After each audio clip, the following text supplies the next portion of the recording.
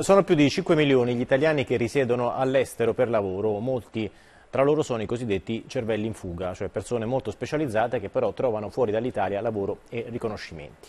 Gerardo D'Amico ha incontrato Ennio Tasciotti, co-direttore del Dipartimento di Nanotecnologie applicate alla medicina del Methodist di Houston negli Stati Uniti. Vediamo insieme. Eccolo qui come è fatto uno dei 5 milioni e rotti di italiani che vivono all'estero. Esatto. Se n'è andato un sacco di tempo fa. Dieci anni fa.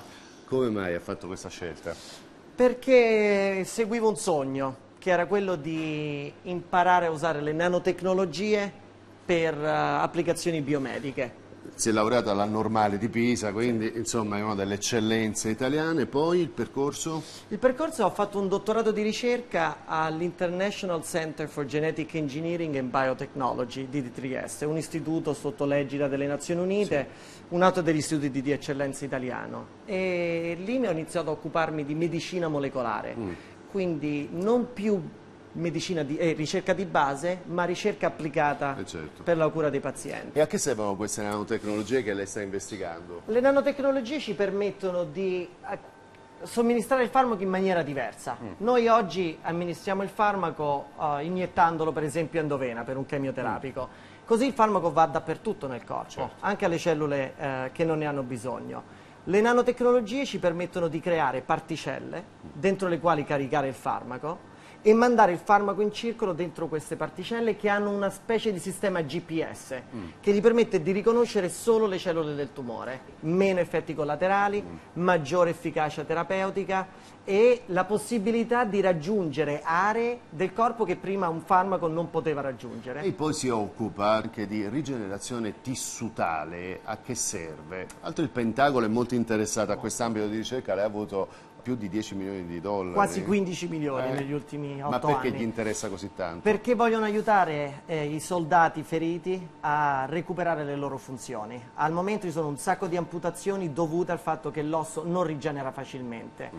Abbiamo deciso di creare nuovi materiali che invece sono in grado di convincere le cellule staminali del corpo a rifare osso. Usando nanomateriali riusciamo a parlare alle cellule e a convincerle a fare osso in modo completamente innovativo. Il completamente innovativo, lei però ha dovuto o voluto farlo dall'altra parte del mondo, quindi negli Stati Uniti. Perché?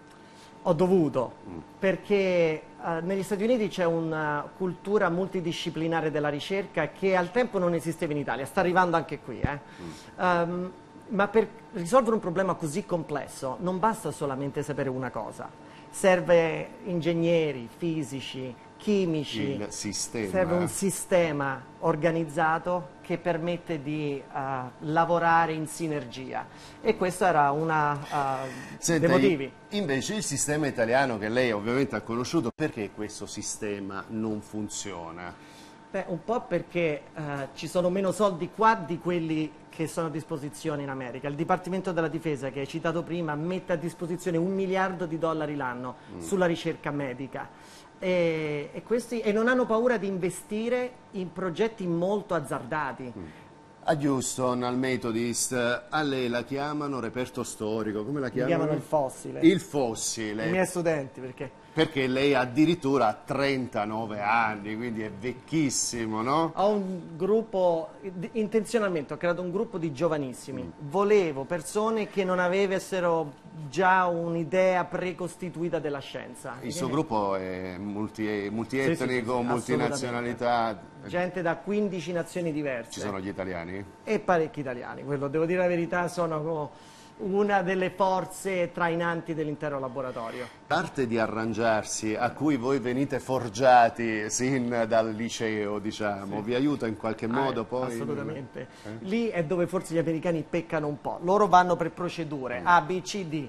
Se B non c'è, non funziona, si blocca tutto. L'italiano lì invece eh, riesce in qualche Aggira, modo ad aggirare e a trovare soluzione. la soluzione. Un vecchio di 39 anni come lei se lei fosse rimasto qui in Italia, adesso che cosa farebbe? Ah, eh, probabilmente sarei un ricercatore eh, in un'università italiana. 1200 euro al mese, se. A parte lo stipendio, arrivano. dubito che eh, avrei avuto la possibilità di gestire progetti così ambiziosi. Mm. Questa è una delle bellezze dell'America, non gli interessa sapere chi sei, da dove vieni, quanti anni hai, se lo sai fare te lo mettono in mano.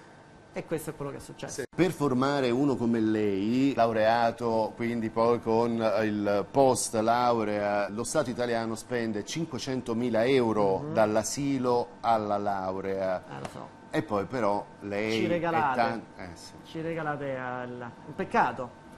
E questa è una delle cose che eh, l'Italia deve un attimo cambiare. Cercare di riportarci indietro. Noi torneremo tutti molto volentieri. Eh? Uh, tutti quelli italiani che lavorano a Houston, siamo tutti che qui ma ci manca l'Italia tantissimo. Bisogna creare le opportunità per uh, riportare indietro per tutte esempio, queste lei, menti. Lei a che condizioni tornerebbe?